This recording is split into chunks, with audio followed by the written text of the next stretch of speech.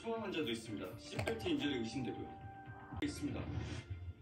사부님한테 넘기지 그냥. 수술 시간이 좀 걸린다고 이쪽에서 받으시라는데요.